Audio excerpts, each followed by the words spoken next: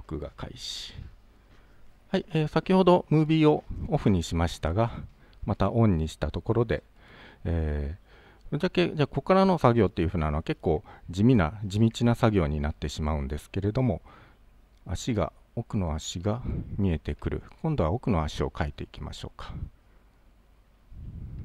あ、手前の足から仕上げた方がいいかな。はい、えー、こんな感じで2フレーム目にインしてきたものがあるので、この、えー、2フレーム目の、そうですね、ちょっと色を分けちゃいましょうか。すねから先っていう風なのは。まあ上余白があるんですけども、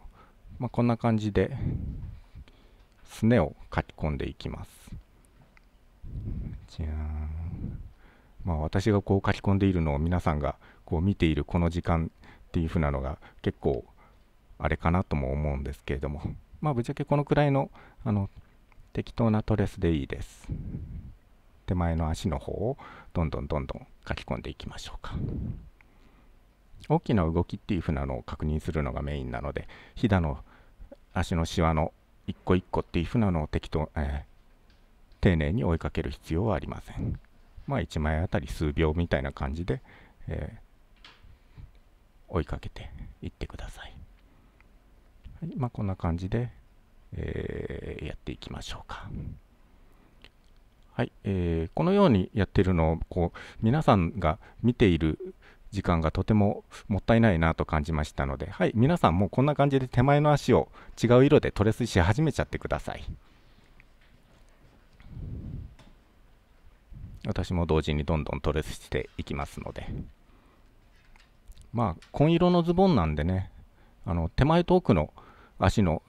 どっからどこがっていう風なのがちょっと分かりにくいんですけども、まあ、その辺はえー、適当でいいです。足の太さが変わっても特に今回は問題がありません。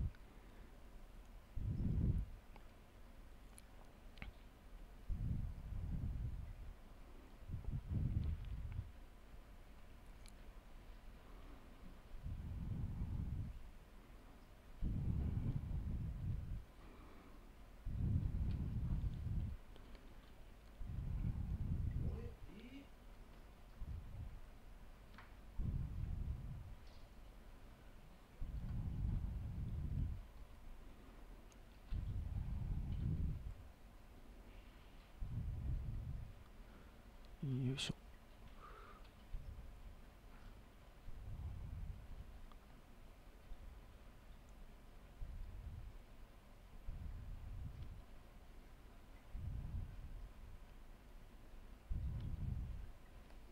はい、えー、私は20枚目まで手前の足をトレスし終わりました。